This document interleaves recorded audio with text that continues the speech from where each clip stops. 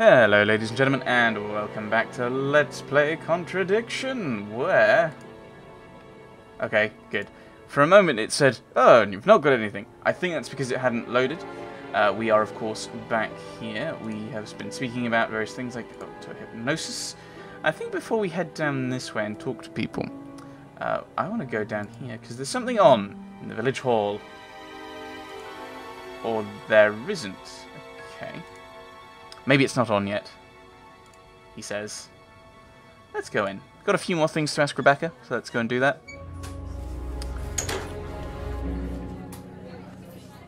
Mm, yeah. A few more questions, if you don't mind. I was thinking about going to the, um, uh, having a look at the tips, but it's not much point in doing that when we know there's things we need to do. So we'll ask about the DVD. Do you know anything about this? No, sorry. Ask Ryan. Okay. Doll burning. What do you know about doll burning at Atlas? Only that it's part of the course. I'm not entirely sure what they're for, but I made dozens for him. You made them. Oh, Ryan can't make anything. He's practically dyspraxic.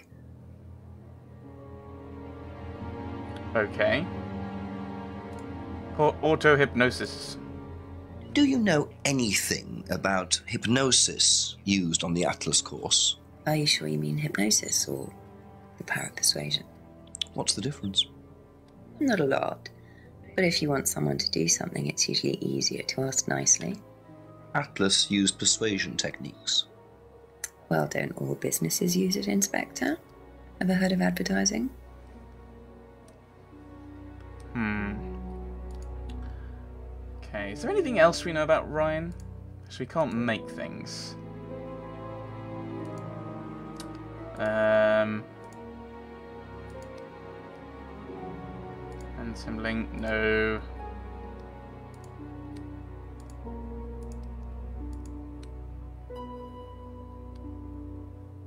Maybe the mask? That's probably not. Cause he, just because he owns it doesn't mean he made it. Alright. Thank you. Probably be back later.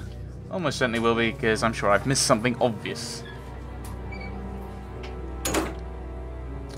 Let's meander down, go and talk to James. Ah, of course, we haven't sp spoken to... Is that Paul? I want to say Paul. A uh, few more questions, if you don't mind. Suspicious XXX DVD. Seen this before? No, what is it? Do you recognize it? No. Should I? It's a DVD. What do you know about doll burning? Doll burning? What sort of doll burning? It doesn't mean anything to you. No.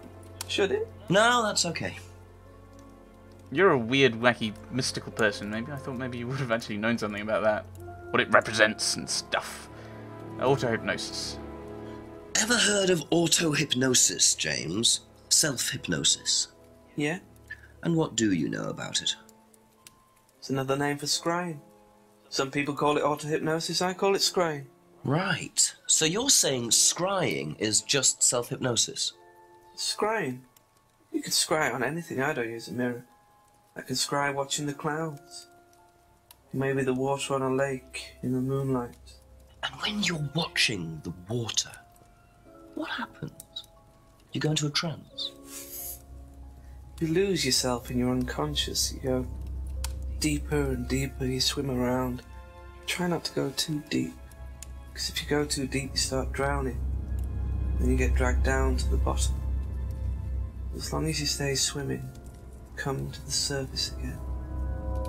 Then you wake up and see the world as it really is. It's a journey to a place people talk about, but no one's ever seen. You're thinking about Kate, aren't you? What makes you say that? She bought a mirror. Sold her one last year. Was she into using mirrors like that? No idea. But she bought one. Right. Hmm. What do we say about mirror? Okay, you just gave me one. Various reasons. you know about Kate? So you knew her through that. Is that a contradiction? Maybe not. Worth a try. Um. Hmm. Scrying's possible without a mirror. Is that something that clashes with what you've said?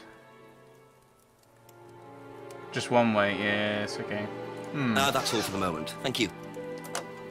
I'm sure I'm missing something obvious.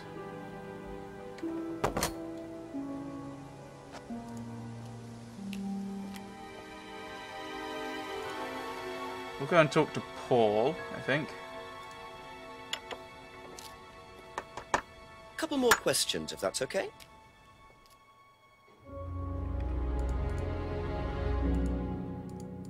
Ask out the DVD. You probably didn't know it. Seen this before? The writing looks familiar, but no. Okay. So I'm... Do not move. Probably should have checked that first. I'm guessing it's uh, uh, Ryan's then. I shouldn't see yeah, it's Paul. Doll burning. What can you tell me about doll burning at Atlas? Not very much. It's one of Ryan's ideas. My son is under the illusion that he's a genius. Oh dear, I like this guy. Auto hypnosis. Can you tell me more about the auto hypnosis techniques used on the course? we don't use hypnosis on the course. Not at all. Not anymore. So, how was it used? Hypnosis is probably the wrong word, Inspector. It's nothing to do with the trances or things like that. It was. It was meant to force. to help students. Did you force them? You can't force anybody into being hypnotized. You have to want to be hypnotized. It's not something out of your control. You can't be hurt or damaged in any way by hypnosis. So, you've never put pressure on students to enter into hypnosis? It would be impossible to do so. Okay. Uh.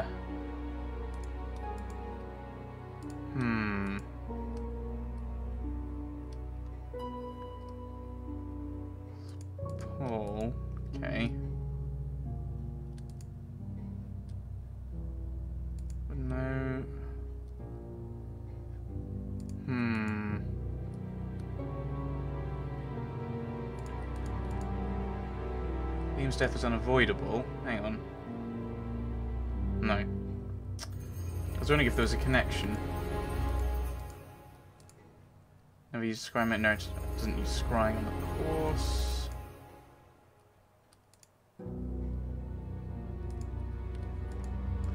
This is so annoying. Oh, have I not asked about broken pendant? Ooh, oh, that's because normally I don't have to ask about it. Let's ask about it then. Have you seen this before? Looks familiar. Where did you find it? It was, uh, in the woods. Presumably had something to do with Kate or a killer. Well, that's what I'm trying to establish. Shouldn't it be in an evidence bag, Inspector, in case of contamination? Yes. I didn't have one with me, unfortunately. Well, don't go testing it for DNA, will you? It's got yours all over it.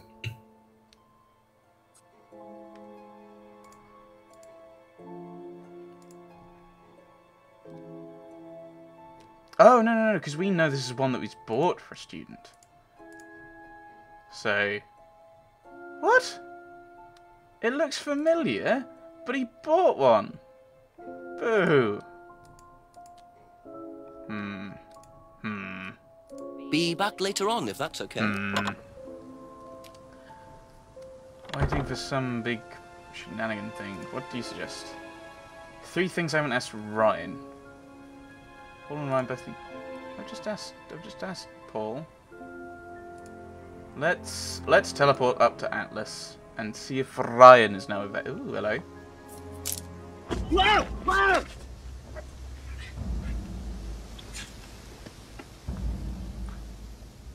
What did he, What was he doing? The DVD! That's all they took. It must have been deliberate. Someone clearly wanted that back. Nice and helpful of them to leave a piece of evidence behind, though. Ooh.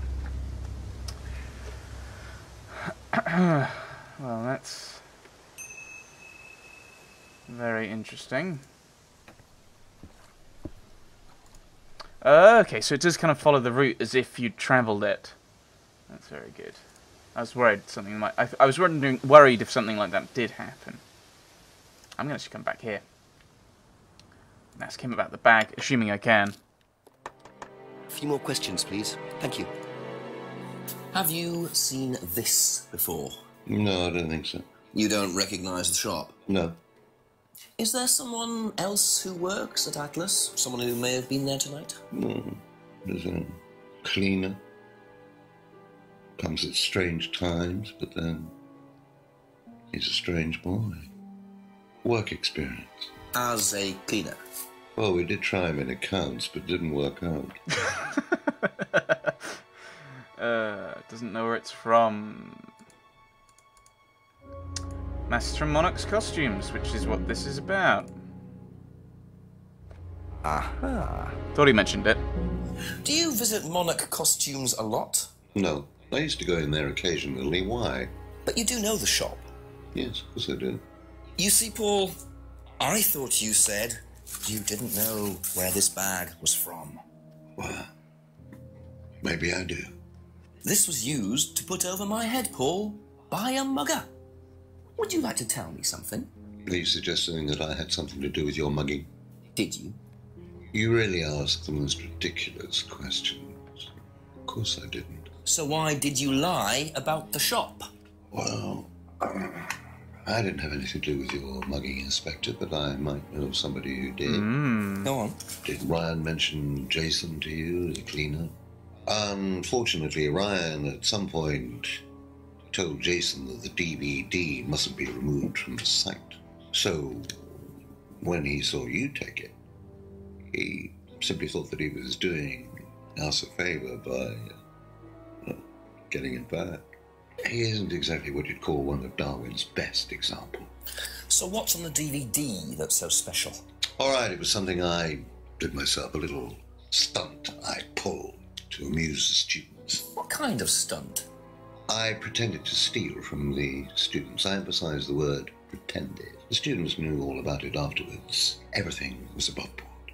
Steal from students. Why? We were doing a piece about pushing the limit, so I decided I. I would show them how it was done. Oh, don't look so serious, Inspector. I returned everybody's things immediately afterwards, no harm done. And when was this? Last year sometime. At Third Eye or Atlas? Third eye, I think. And this was before or after Liam died? Well, since you'll probably find out anyway, it happened to be on the night that Liam died, as it happens. Before you ask, no, steal from him. Do you think it's a good idea to encourage students to steal, Paul? I wasn't encouraging students to steal. Policemen are so literal. Life is shades of grey, Inspector. Much as the Force might like it, it doesn't divide neatly into blacks and whites.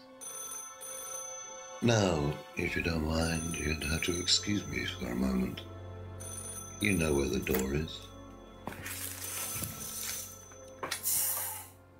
The, the smile he had when he said that he didn't steal from uh, Liam is. Um, I see he was quick enough to claim he didn't steal from Liam. What kind of stunt was that anyway?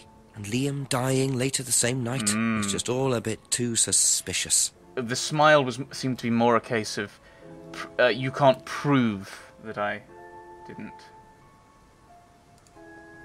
No, you can't use things. Uh, let's let's go back to Atlas as my, original plan. But I assume things will now be a bit more open. I would assume. Hmm.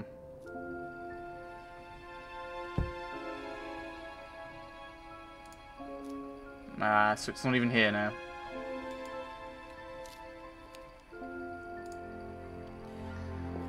Uh, I suppose makes sense. If you think someone's just gonna nick it, you're gonna want to hide it away, aren't you? Try the lounge door now, hopefully... Oh, no.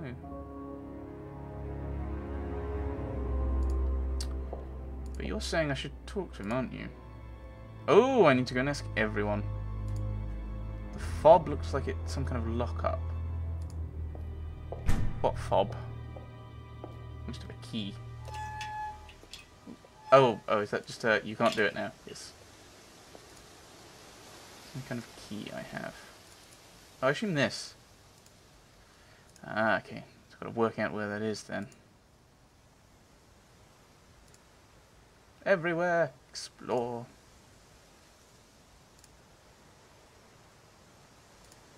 Right, uh, let's continue. Sometimes there's stuff here. Obviously not at this point. I think it makes sense to ask Simon first about the, uh, about this, Ask you a couple more things, please. about these things, although it's probably not going to be overly useful. Seen this? You know the shop? Yeah, yeah, I know the shop. I hired something from them last year, I think. This is for a party, I assume. Yeah, yeah, something like that.